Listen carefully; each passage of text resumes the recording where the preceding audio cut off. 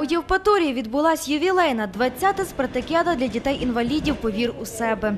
Збірна Тернопільщини традиційно стала учасниками змагань, що відбувались у восьми видах спорту.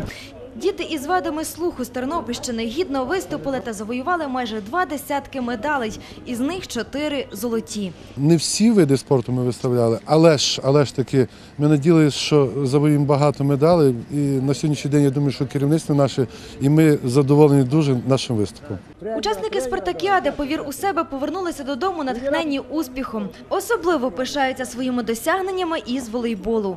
Кожний учасник нашої 19 дітей виборов або золото, або срібло, або бронзу. Це дуже великий успіх для Тернополя. Ми вперше пляжний волейбол здобув золоті медалі на всеукраїнській спартакіаді. Це дуже дуже мене веселить. Я як радий, як начальник за своїх тренерів, за своїх підлеглих. Молодці. Даром хліб не їмо.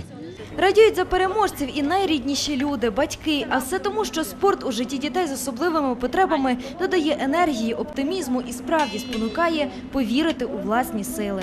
Цим дітям дуже важко знайти своє місце в житті. А якщо знаходить, а серед них дуже багато є талановитих дітей. Не да- не даремно так сказано, що Бог одне забирає, а другим обдаровує. І така організація, як інваспорт, е, вносить дуже багато в їхнє життя, тому що ті діти можуть себе знайти в різних видах спорту.